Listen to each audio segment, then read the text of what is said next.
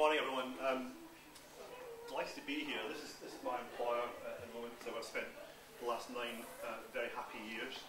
Um, I should probably give a little bit of my background first, because I think uh, when I was sitting in UCI, I studied a degree in journalism in Edinburgh, and um, always felt, found it helpful to find out where the hell someone had come from, kind of route they'd taken through. I graduated in the mid-90s, um, having dodged the last really bad economic slowdown by doing a student sabbatical and and various other things. Um, became a freelance, worked, uh, ended up joining staff at the Edinburgh Evening News. Um, I wrote a bit, I also did a lot of production journalism because a lecturer very kindly advised me that um, the best, if I wanted to work for a good title, uh, the easiest way in, well not easiest, but the best way in would be to uh, become a sub-editor because as he explained to me, nobody wants to be a sub-editor. So go be a sub-editor, um, you know, get good at writing headlines, editing stories, pulling stuff together quickly, doing captions, picking pictures. Um, develop all those skills. And then if you get bored of that, you find it's not for you, you can go to your boss and say, I really like to write now.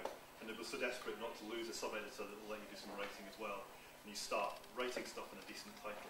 Actually, I really enjoyed production journalism and found it really helpful. I moved down to London in 98, uh, joined Teletext for a brief and uh, sometimes slightly strange nine months, writing 60-word news stories and headlines that fitted exactly, exactly, uh, I think 32 characters wide.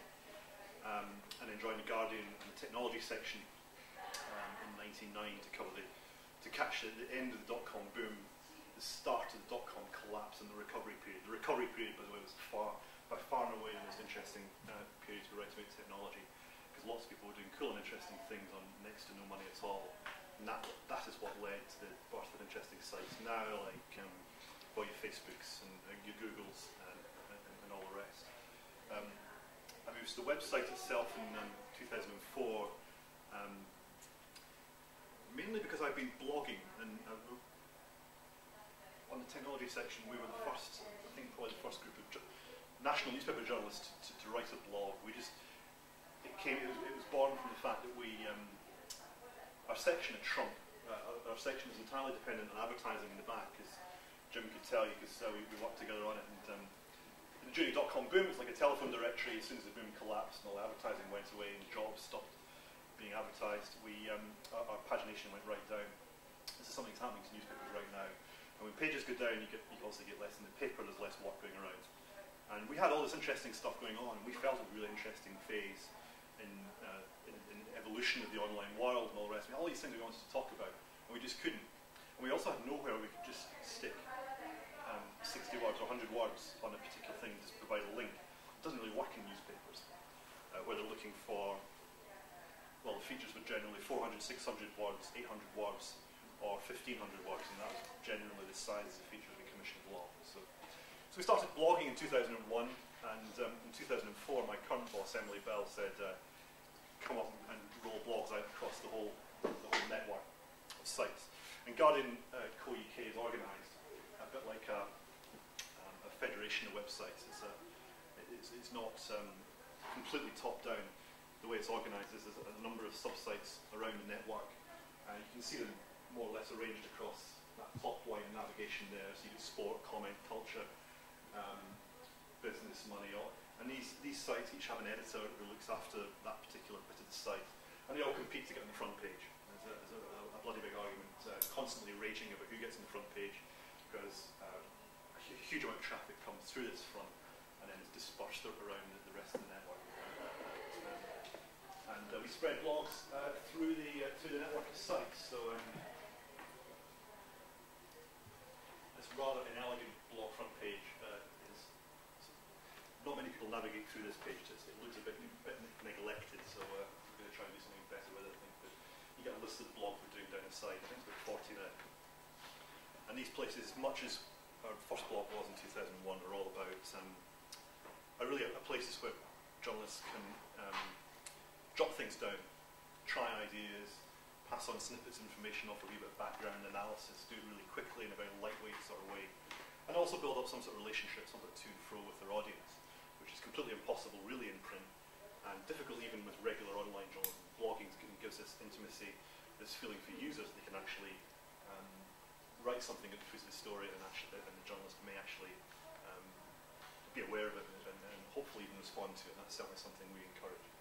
So blogging was really what got me onto the website and actually working for the site properly in 2004. Um, since then, uh, there have been a couple of other really big projects, and this ties into really what's happening in the rest of the industry. Two, two other really big projects I've been involved with. Blogging kind of brought around also a, a, um, a way to deliver audio to people in interesting ways, and as podcasting was born. Anyone here listen to podcasts? Some, some, one or two listeners. It's something. It's interesting. It's not something that's caught the kind of traction we all expected it to. We, we do well from audio. We, we do we do about a million and a half audio downloads each month, of which the vast majority are delivered to uh, through podcasts to you know and the iTunes Music Store as well to people's uh, generally iPods dominates the market.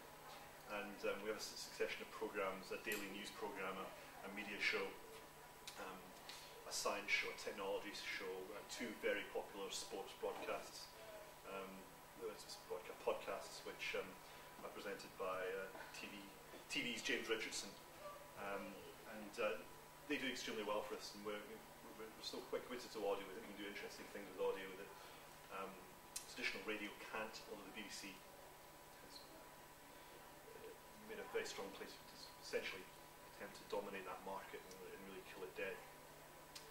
Um, and uh, I think the thing about audio was for us, it's an extraordinary departure.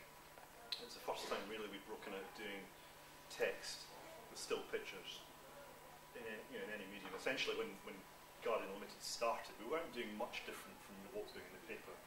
Uh, you were writing text it was going on a, it was going on a screen rather than being printed out, but the structure was pretty much the same until blogging came along, we didn't you know, do things that were a lot different from stories in, in printing the paper. Doing audio, however, is a completely different set of skills. Writing, I'm sure those of you who study it will, will, will know this, that writing for broadcast or podcast, writing something to be listened to rather than read is a, a really um, completely different kettle of fish. And um, we, uh, we had to sort of develop a model to try and try and do this really well because the important thing is for us that whatever is produced comes out. It's, it's Guardian journalism. It's not good enough just to be a bit shit. It's, it's got to be actually of, of, a, of, a, reasonable standard. And some titles just haven't done this. They've said, well, we're experimenting and it's the web and we're not taking it particularly seriously.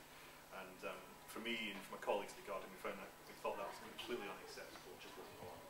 So what we did actually we went out and we recruited some radio journalists, and we, we, we got um, three or four uh, radio journalists in uh, mostly the BBC, one from uh, independent local radio.